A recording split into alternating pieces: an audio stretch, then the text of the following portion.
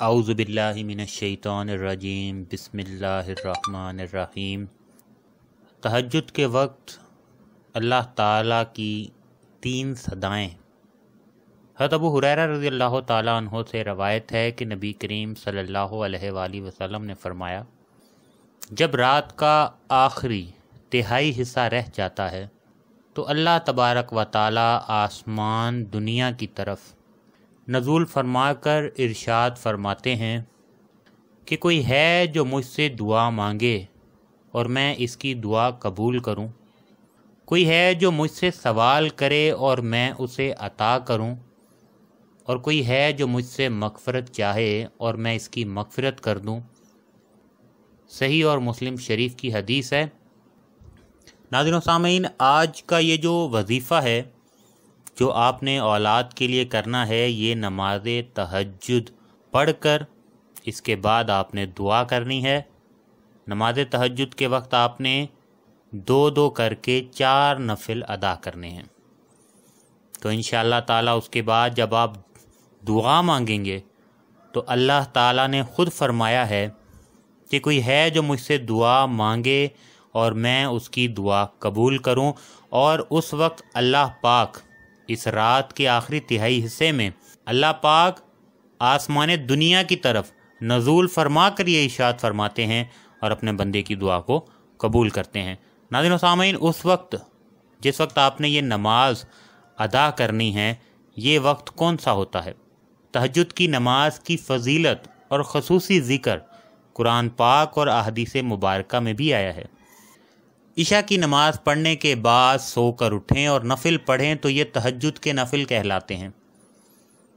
यानी कि ईशा की नमाज़ जब आपने पढ़ लेनी है, उसके बाद सोकर उठना है तो ये नफिल जो हैं, ये तहजद के नफिल कहलाते हैं। इसके लिए ईशा के बाद सोना शर्त है। तहजद की कम अज़ कम दो और ज़्यादा से ज़्यादा आठ या बारह रखते हैं और इस नफिल नमाज़ की अदायगी के लिए बेहतरीन वक्त रात का पिछला पहर होता है।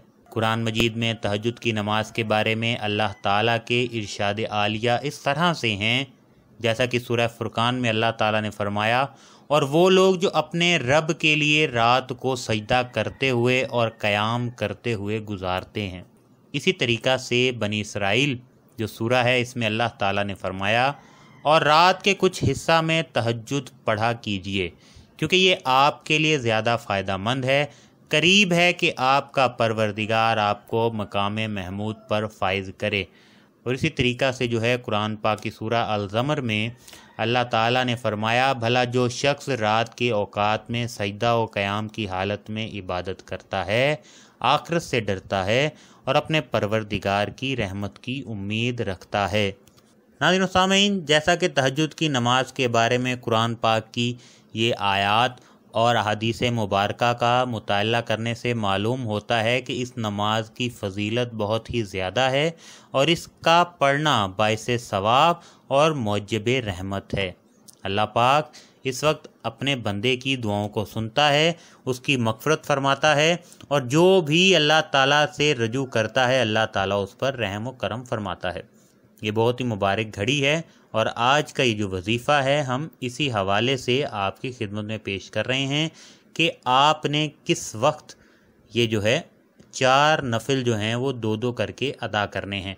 ये जो चार रकत नफिल नमाज़ तहजद की है, ये आपने दो दो रकत करके इस तरह से पढ़ने हैं कि हर रकत में सुरह फातिहा के बाद बारह मरतबा सुरह इखलास पढ़नी है और सलाम के बाद आपने दो मरतबा सुरह मुजम्मिल पढ़नी है।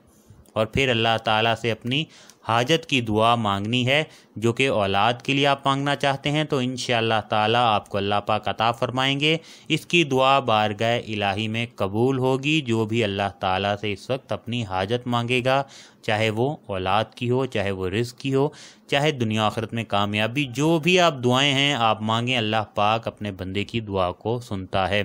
हज़रत जाबर रज़ी अल्लाह तहों से मरवी है कि नबी करीम सल्लल्लाहु अलैहि वसल्लम ने इरशाद फरमाया, रात में एक ऐसी साथ है, यानी ऐसी घड़ी है कि जब इसमें बंदा अल्लाह ताला से भलाई का सवाल करता है तो अल्लाह ताला इसे अता कर देता है।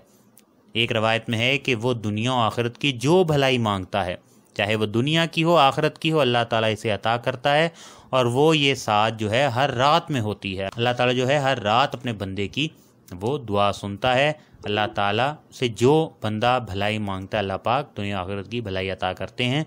नाजिन सामीन, आप किसी भी रात को ये अमल कर सकते हैं, किसी भी रात को ये दो नवाफिल तहजद के वक्त आप पढ़ सकते हैं, दो दो करके चार नवाफिल हैं। और आप अल्लाह ताला से दुआ करें इन ताला जिसने भी अपनी जायज़ हाजत जो है वो मांगी है अल्लाह ताला ने कबूल की है। बे औलादों की झूलियाँ भर दी अल्लाह ताला ने। अल्लाह ताला ने उनसे औलाद की नेमत से नवाज़ दिया। आप भी जो हैं, अगर चाहते हैं कि आपकी भी झोलियाँ बन जाएँ, आपके सोने आँगन जो हैं, वो बच्चों के खिल खिलाने से महक उठें तो आप भी ये नफिल अदा करें। तहजद की जो नमाज़ है, इसको पढ़ने की आप अगर पाबंदी करना शुरू कर दें तो इन ताला आपकी भी हर हाजत दुनिया आखरत की पूरी होगी। अल्लाह ताला भलाई के मामला फरमाएँगे। इजाज़त चाहते हैं। अल्लाह हाफिज़।